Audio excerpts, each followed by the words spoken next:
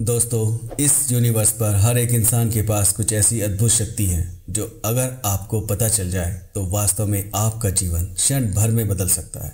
और ये ऐसा नहीं है कि ये सब बातें किताबी हैं। बात यह है कि अगर कहीं आप काला जादू का नाम सुनते हैं तो शायद आप एकदम से विश्वास कर लेते हैं। लेकिन अगर कोई आपको कुछ प्रॉफिट की बात फ्री में बताए तो आपके मन में एक ही बात आती है।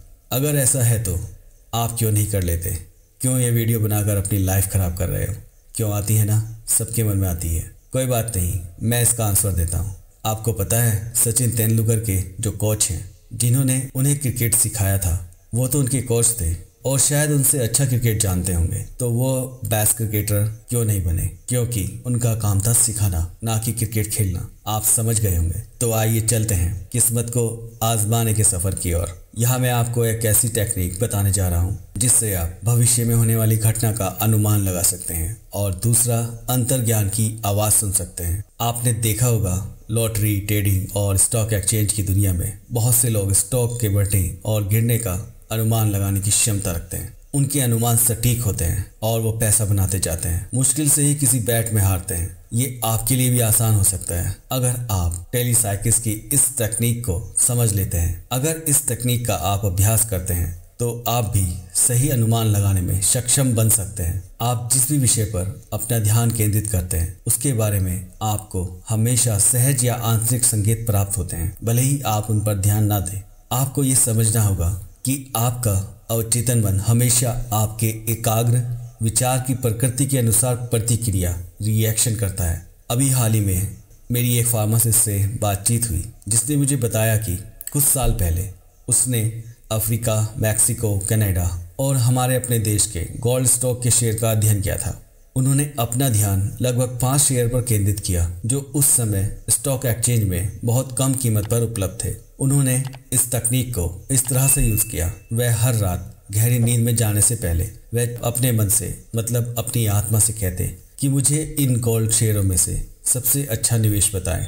और मुझे स्पष्ट रूप से सबसे अच्छा निवेश बताएँ। उसके बाद वह उन शेयर का एक एक करके नाम लेते और धीरे धीरे सो जाते।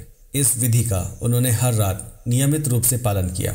साथ ही साथ और इसी फ्रूट प्रिंट पर आगे बढ़ते चले गए। पहले चार से पाँच दिन तक उन्हें कोई संकेत नहीं मिला, लेकिन छठे दिन उन्हें सपने में एक गोल्ड शेयर का नाम दिखाई दिया और उन्हें वो कई बार दिखाई दिया।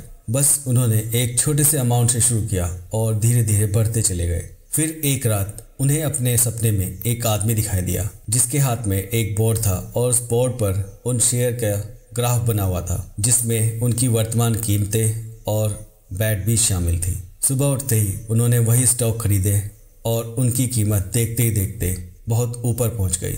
उन्हें जो सपने में दिखाई दे रहा था, वह दरअसल अवचेतन मन था और वह उनके क्वेश्चन का जवाब दे रहा था। नींद के समय चेतन मन रचनात्मक रूप से अवचेतन मन से जुड़ जाता है। और उसे अपने तरीकों से जवाब देने के लिए आगे बढ़ता है। प्रत्येक यूनिवर्सल मन का प्रवेश और निकास है। मन और आत्मा, जो हम सभी की वास्तविकता है, क्योंकि ईश्वर जीवन है, आत्मा सर्वशक्तिमान है। आप सभी में निवास करती है, चलती है और आप में बात करती है। ऐसे ही एक और उदाहरण है। एक बिजनेसमैन घुड़दौड़ का कारोबार करते थे। उनमें अनोखी बात यह थी कि वह जब भी किसी घोड़े पर बैट लगाते थे तो वह हर बार जीतता था। और उनके बारे में ये बात भी प्रसिद्ध थी कि वह कोई काला जादू जानते हैं, लेकिन ऐसा नहीं है। वह भी ठीक इसी तकनीक से, अपनी आत्मा से, अपने अवचेतन मन से बात करते थे और उन्हें उसका सटीक उत्तर भी मिलता था। वह अपने अवचेतन मन का नियमित रूप से और निरंतर प्रयोग करके खुद को एक बड़े नुकसान से बचा लेते थे।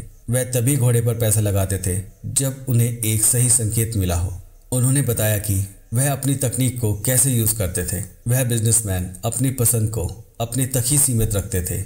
उन्होंने कभी भी ऐसा विश्वास ज़ाहिर नहीं किया। मुझे इस नंबर का घोड़ा पसंद है। इससे उनका अवचेतन मन कंफ्यूज हो सकता था। इसलिए उन्होंने अपने मन को कभी भी सर्वोपरि नहीं माना। ऐसा नहीं कि वे तार्किक नहीं थे। वह पहले लॉजिकल सर्वे करते थे। कौन सा घोड़ा कितनी बार हारा है, कितनी बार जीता है, उनके पास सब आंकड़े होते थे। और यह ज़रूरी भी था, क्योंकि यह पैसों का मामला था। वह पहले अपने माइंड से तीन से चार घोड़े के नंबर पर रिसर्च करके निकालते थे। और उसके बाद ठीक सोने से पहले अपने अवचेतन मन से प्रार्थना करते। वह कहते कि, मैं आपको यह अनुरोध सौंप रहा हूँ। कृपया पहली या तीसरी दौड़ के विजेता को चिन्हित करें और मुझे बताएँ कि कौन सा घोड़ा कौन सी रेस में विजेता होगा। वह सभी घोड़े के नंबर को दोहराते और मैं कल की रेस का विजेता हूँ। मैं विजेता हूँ। ये कहते कहते सो जाते। एक रात उन्होंने अपने सपने में 19 नंबर का घोड़ा विजेता बनता हुआ देखा। जब वह सुबह उठे, उन्होंने उसी नंबर के घोड़े पर एक हज़ार डॉलर लगा दिए और उस घोड़े ने लगभग एक लाख डॉलर जीते थे। यह सिर्फ़ 24 घंटे में हुआ था, लेकिन एक रात ऐसा हुआ कि वह सुबह जागे और अपना सपना भूल गए। तब उन्होंने मुझसे संपर्क किया और मैंने उन्हें सुझाव दिया कि वह जब सुबह उठे तो सबसे पहले अपने आप से बात करें और कहें कि मुझे याद है। इतना कहते ही उन्हें सब कुछ याद आ जाएगा और उनका सपना पूरी तरह से वापस आ जाएगा। जिसने भी इसे आजमाया है, उसे सफलता ही मिली है और ये पूरी तरह से काम करता है। यहाँ तक साथ देने के लिए आपका दिल से धन्यवाद। Thank you guys